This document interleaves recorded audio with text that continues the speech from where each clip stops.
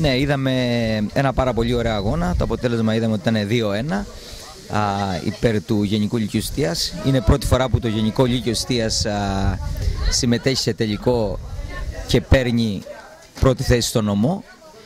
Για να φτάσουμε μέχρι εδώ ε, είχαμε μια, ένα πολύ καλό αγώνα, μια επιτυχία με τον Κουτσουρά, 9-0, με το ΕΠΑΛ Σιτίας, ε, 3-0 από ό,τι θυμάμαι. Αποκλείσαμε μετά την Ιεράπετρα και στο τέλος ε, ο τελικός ε, έγινε εδώ Σιτία με τον Άγιο Νικόλαο να χάνει 2-1.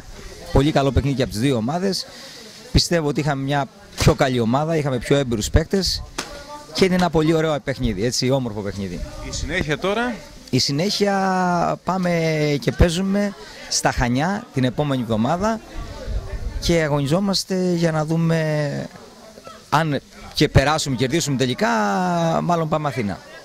Στα Χανιά τον αντίπαλο, ξέρουμε ποιος είναι ο αντίπαλος; Ε, δεν το ξέρουμε, δεν το ξέρουμε ακόμα. Δεν το ξέρουμε ακόμα. Το παιχνίδι κατά διαστήματα δεν ήταν πάρα πολύ καλό.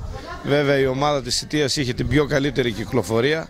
Εμείς τις ευκαιρίες από ό,τι είδα, γιατί κάναμε κάποιες κλασικές ευκαιρίες, δεν μπορέσαμε βέβαια να τις κάνουμε γκολ και μοιραία ήρθε το αποτέλεσμα. Δίκαια βέβαια, χάσαμε 2-1.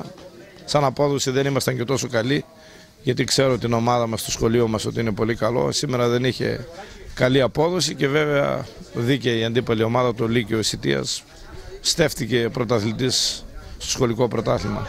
Καλή επιτυχία ήθελα να ευχηθώ στη συνέχεια. Εσείς για να φτάσετε μέχρι εδώ, ποιες είναι Εμείς ε, αποκλείσαμε το πρώτο Γενικό Λύκειο Αγίου Νικολάου και το ΕΠΑΛ ε, Νεάπολης. Φέραμε τον τελικό εδώ στη Σιτία και ήταν πολύ σημαντικό αυτό για μας.